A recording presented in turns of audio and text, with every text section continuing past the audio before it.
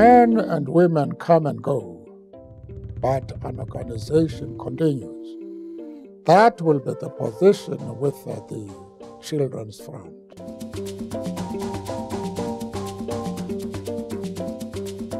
It's an organization which is going to be there as long as there are good men and women. The Children's Fund will last far beyond any particular individual and the task of ensuring that our children have got facilities and that they can prepare themselves to have the most important weapon to serve our country is something that is everlasting.